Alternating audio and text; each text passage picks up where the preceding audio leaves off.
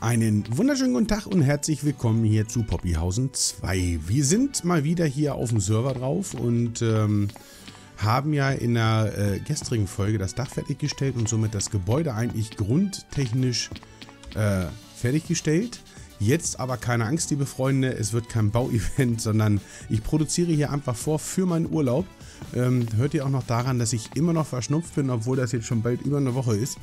Ähm, ja, liegt einfach auch daran, dass ich halt in 1 versuche durchgehend aufzunehmen. Deswegen, also ich fahre am kommenden Freitag in den Urlaub.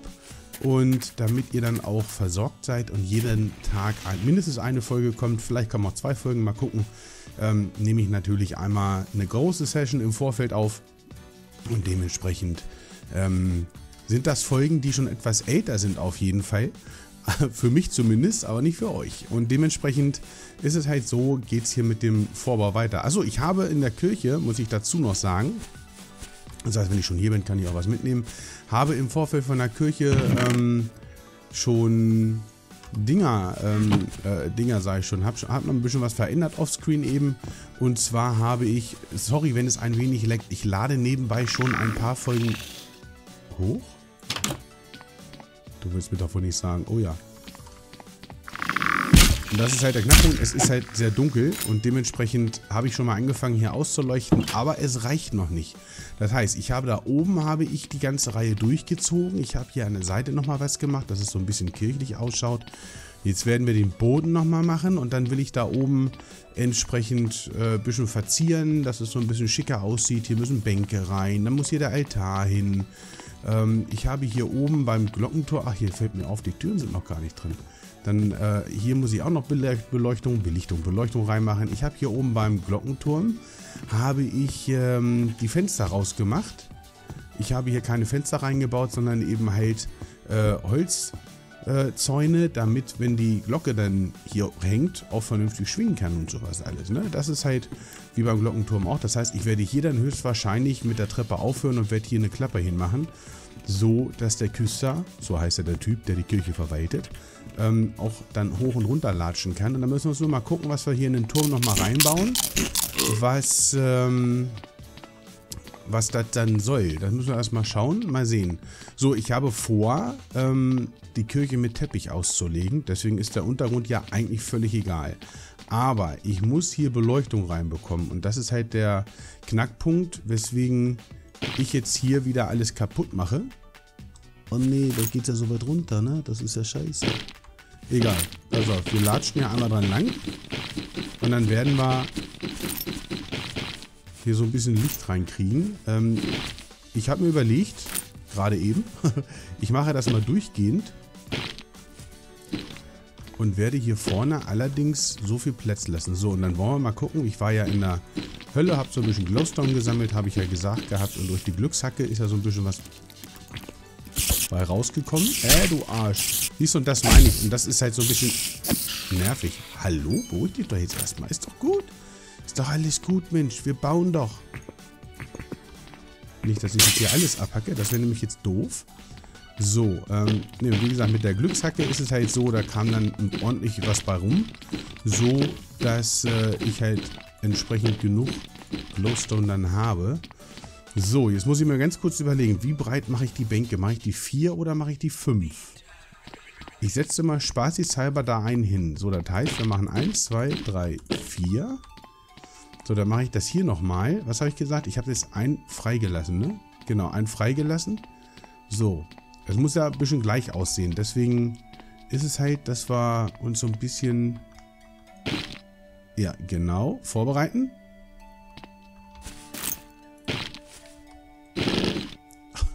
Das war zu viel des Guten. Und von dem her müssen wir beigehen, dass wir hier vernünftig abgrasen können, sozusagen. Nur nicht zu viel, sonst wird es problematisch. So, ich habe einen Knochen. So, das hier ist mein Punkt zum Annehmen. Das heißt dahin. So, dann können wir nämlich hier auch mit Glowstone nochmal auslegen. Dann haben wir nämlich schon mal die erste Beleuchtung soweit fertig. Und ich glaube, das Wildeste ist dann nochmal die Mitte. Dass die Mitte entsprechend ähm, ausgeleuchtet ist, dass hier erstmal wieder keiner mehr spawnen kann. Das ist, das ist die Hauptsache. So, das ist der eine Punkt. So, dann müssen wir nochmal gucken, dass wir hier die Sitzbänke mit hinsetzen. Was habe ich da jetzt gemacht? Ich habe gemacht vier. Dann nehmen wir uns diesen mal an. So. Dann gehen wir mal bei 1, 2, 3, 4. Dann würde ich sagen Glowstone, Teppich, Glowstone. 1, 2, 3, 4. Glowstone, Teppich, Glowstone. Läuft. Das finde ich gut. So würde ich das, glaube ich, machen wollen. Dann haben wir nämlich hier für die große Runde die Sitzbänke und Beleuchtung. Das finde ich, glaube ich, richtig gut. So, dann können wir nämlich weitermachen hier. Und schon wird es hell im Puff. um das mal so dezent auszudrücken. Ähm, und haben dann nicht mehr die große Gefahr, dass hier so ein dummes Ding spawnt, der hier nicht in die Küche gehört, sondern woanders hin. Das heißt, hier können wir ja seine eigene Küche bauen. Wurde ja auch gefragt, bin ich ja schon drauf eingegangen, wenn einer eben nicht christlich ist, sondern äh, irgendwas anderes. Gibt ja genug Glaubensbekenntnisse heutzutage oder Glaubensgemeinden. Oh, ich sollte aufpassen, dass ich hier nicht allzu viel kaputt mache.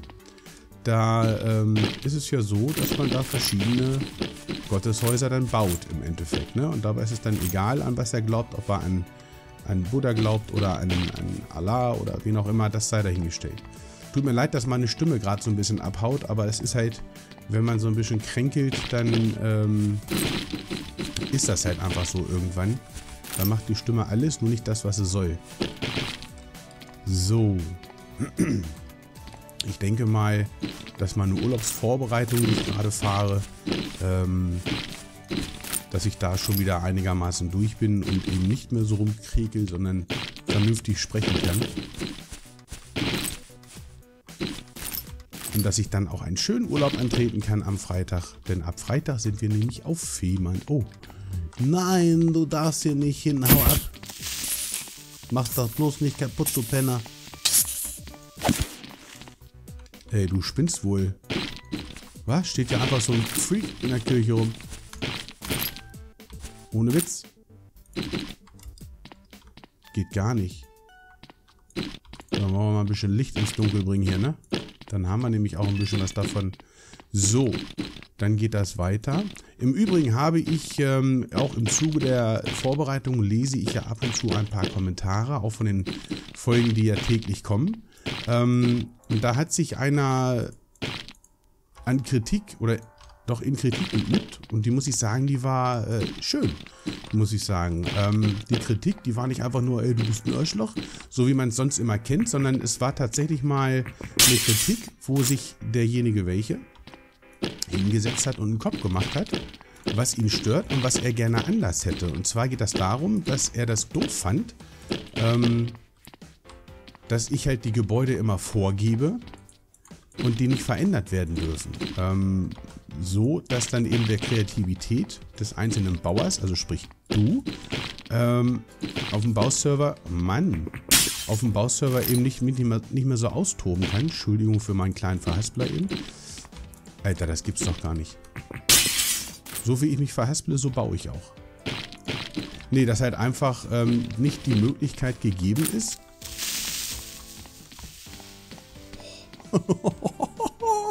Alter Schwede. Was mach ich denn jetzt? Geh bloß nicht kaputt, Alter. Das heißt, kaputt kannst du schon gehen, aber nicht, nicht explodieren. Bitte, bitte nicht. Bist du tot? Ne, er ist nicht tot. Alter. Wo bist du?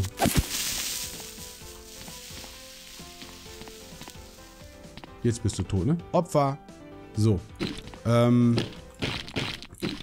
ich mache hier gleich erstmal zu, dass die Typis... Oh nee, jetzt habe ich keinen Glowstone mehr. Muss ich echt nochmal in die Hölle rein? Mann! Passt nicht ja. Ich gehe in die Hölle, um eine Kirche zu bauen. Läuft bei mir. Ähm... Nee, und da hat... Oh Gott, wie war denn das? War das jetzt so gewesen? Nee, Gott sei Dank. Ähm, wie gesagt, der hat sich da so ein paar Gedanken drüber gemacht und hat gesagt, ey, pass auf. Ist ja ganz gut und schön, was du so machst, aber es kotzt mich an, dass ich mich eben nicht austoben kann und verwirklichen kann, so wie ich es gerne hätte und ein Snibbles kommt. Und ähm, von daher äh, hat er dann gefordert, dass ich eigentlich nur ein Gebäude vorgebe, in dem ich sage, was es werden soll. Also ein Krankenhaus zum Beispiel. So, dann könnt ihr loslegen ähm, und könnt euch selber bauen, wie ihr das gerne hättet. Ähm, Finde ich persönlich natürlich für denjenigen, welchen wie dich da draußen, ähm, cool. Und äh, ist halt das Problem, dass allerdings dann die Gebäude durcheinandergewürfelt werden. Also es wird dann nicht mehr das. oh, da habe ich noch was drin. Das wird dann nicht mehr das, wie ich es mir vorstelle, sondern so, wie ihr es euch vorstellt. Verstehst du? Das, Entschuldigung, ist der Hintergrund, warum ich die Gebäude immer vorgebe und entsprechend ähm, dann das habe, wie ich es gerne hätte. So, ich gehe mal kurz pennen und mache damit mal einen Cut. So, ich musste mal eben schneiden, weil ich musste mal ins Telefon reingehen und deswegen, ähm, Alter, mein Hals, das geht gar nicht. Und deswegen musste ich schneiden. Also einfach, weil ich telefoniert habe, musste ich schneiden mit in der Aufnahme. Ist das halt so. Entschuldigung, dass ich mich so ein bisschen räuspere, aber ich hab, ihr habt ja meine Stimme gehört, ne? Ist so ein bisschen anstrengend auch für mich.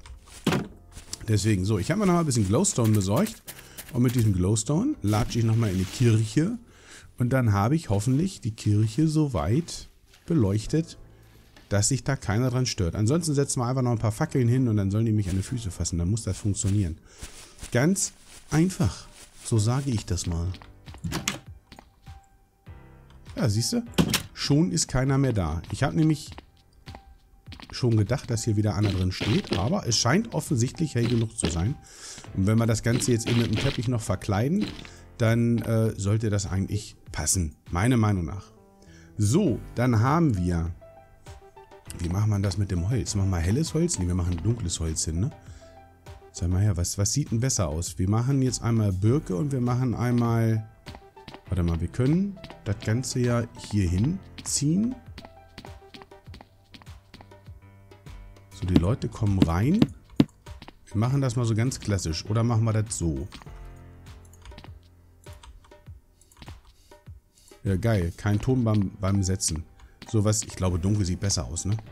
In der Kirche ist es ja eigentlich immer dunkel. Das Dunklere ist ja immer so ein bisschen edler. Oder mal gucken, ob wir noch Schwarzeiche finden. Wäre auch eine Maßnahme, ne? Wir können noch mal eine Runde Schwarzeiche uns suchen. Mal sehen, wie das aussieht. Vielleicht sieht das ja besser aus. So, und dann können wir nämlich auch die Bänke vielleicht... Kann man eigentlich Netherstein äh, oder, oder ähm, wie gesagt, mit Netherrack kann man das brennen und daraus Ziegel machen? Ja, ne? Ich glaube, das war so. Dann können wir doch daraus die Sitzbänke machen. Das finde ich, glaube ich, cool. Warte mal, ich, ich gehe mal gucken. Ich gehe mal gucken. Kommen Sie mal her. Habe ich die hier nicht irgendwo... Ist da schon was drin? Ne, da ist natürlich noch nichts drin. Aber ich habe hier Netati, äh, Neterack. Naja, das kann man doch brennen.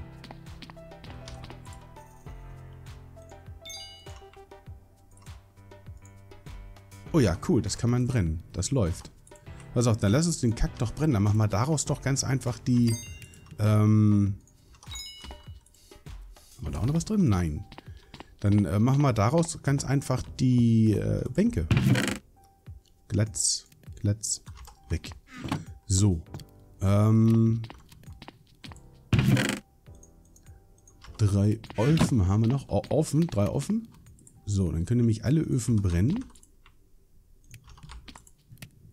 und haben nämlich alle was zu tun. Das ist nämlich voll gut, weil, wenn wir nämlich dann den Dingens haben, ist das Sand? Nee, das ist kein Sand. Ich habe gar keinen Sand hier, ne? Kann das sein? Oh, nee. Stimmt, ich habe gar keinen Sand einsortiert. Na gut, dann machen wir das wieder oben. Ist auch kein Thema. Genau, dann soll er den brennen und dann können wir nämlich aus den Ziegeln, können wir dann nämlich die Sitzbänke machen. Das finde ich voll gut. Muss ich mal so ganz klar sagen. Dann äh, machen wir daraus die Sitzbänke und können auf dem Wege dann auch die Dings machen. Ähm, die Schwarzeiche. Vielleicht finden wir ja noch welche. Vielleicht ist es ja so, dass noch keiner die ganze Schwarzeiche aufgenascht hat und dementsprechend kann ich sie dann weiterverwenden. Das finde ich voll gut. Weil die habe ich ja hier irgendwie mal eingebaut. Das Schwarzeiche? Ja, sieht gut aus. Das finde ich voll gut. Dann können wir den nämlich neu einpflanzen.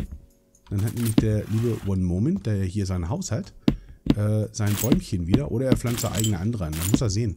Das kriegen wir schon irgendwie hin.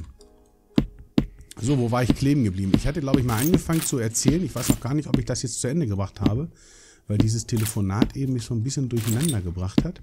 Ähm, über die Geschichte, dass ich da eine Kritik bekommen habe, die ich richtig gut finde. Denn sie ist geschrieben ähm, mit, mit einem vernünftigen Vorschlag. Wobei dieser vernünftige Vorschlag, äh, habe ich ja schon erklärt, liegt dabei in, meinen, in meinem Betrachten ähm, mit drin. Er hat gesagt, habe ich ja schon erzählt, ähm, dass er das doof findet, dass ich die Gebäude immer vorgebe und ihr, die Erbauer, die Helfer, äh, nichts dran ändern dürfen. Und ähm, dass er ganz gerne seine Freiheiten hätte. Ich glaube, das habe ich schon gesagt. Äh, wo ich dann auch gesagt habe, finde ich persönlich nicht gut, weil nämlich dann jeder das baut, was er für richtig hält. Und wenn ich dann sage, nee, das möchte ich aber nicht, weil es sind dann geile Gebäude, ihr könnt alle geil bauen. Ne? Der steht völlig außer Frage. Ihr könnt alle geil bauen. Gerade beim Rathaus auch, da ist es mir sehr schwer gefallen, geschweige denn beim Schiff. Ähm, da ist es mir sehr schwer gefallen, das, ähm, das Richtige zu nehmen. Ähm, da ist halt einfach auch der Punkt, ähm, beim Schiff, okay, da war es jetzt nicht so wirklich äh, tragisch, dass da das Nibbles das umgebaut hat. Beim Rathaus, da hätte ich schon gerne die Grundform weiter behalten. Da hat allerdings der One Moment gesagt, okay, ich verändere das ein kleines bisschen. Okay, konnte ich mit leben. Beim Haus, da habe ich mir schon was bei gedacht mit dieser Grundform. Ähm, wenn da jetzt natürlich einer anfängt, mit so einem modernen Tempel hinzusetzen, ähm, so, so einen richtig hypermodernen Tempel, dann äh, muss ich sagen, hat er das Thema verfehlt, aufgrund, der, aufgrund dessen, dass es eben halt klar schon im modernen Stein gebaut wurde, aber nicht so hyper mega modern aufgezogen, weil die Häuser hier auch alle eckig und kantig sind. Wenn jetzt hier ein Viertel gewesen wäre, wo die Häuser auch so mit so einem runden Dach, das, äh, da sah zum Beispiel ein Haus aus wie die Mercedes-Benz-Tribüne auf dem ähm, auf dem Hockenheimring zum Beispiel. Fand ich persönlich nicht hässlich. Natürlich nicht. Es war schon geil, die Form von außen. Aber das Innenleben ähm, war jetzt für mich persönlich nicht so der Kracher, dass ich gesagt habe, ja, das ist es. Ne, also von innen mit viel Redstone-Technik zum Beispiel war es auch dabei gewesen. Richtig cool gemacht, ne? auch mit dem versteckten Garagentor und so was alles. Aber ähm, es war halt vom Innenleben her nicht so das, wo man dann auch vernünftig dann später mal ein Roleplay betreiben könnte. Und deswegen habe ich gesagt, ich gucke mir, weil es, es gab wirklich Etagen ähm, oder, oder Häuser, die haben eine Etage gehabt, die sah richtig geil aus. Dann ging es weiter bis in die nächste Etage gelaufen, habe ich ja schon gesagt. Da war die Etage, die passte dann nicht mehr zur unteren Etage zum Beispiel. Ne?